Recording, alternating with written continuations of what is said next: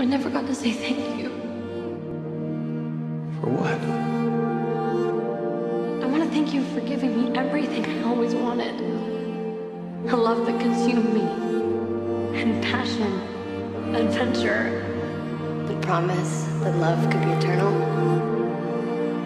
There's nothing more I could ever want other than for it to last forever, but I can't.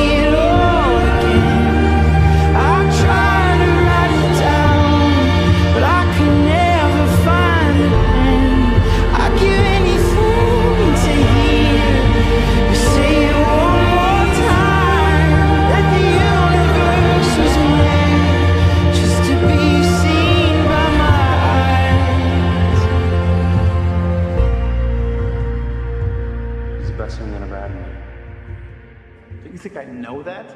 How rare and beautiful it truly is that we exist.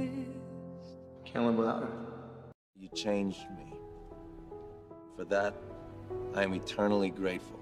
You promise me that whenever you're sad or unsure, or you lose complete faith, that you'll try and see yourself through my eyes. Don't be afraid to fall in love again. P.S. I will always love you.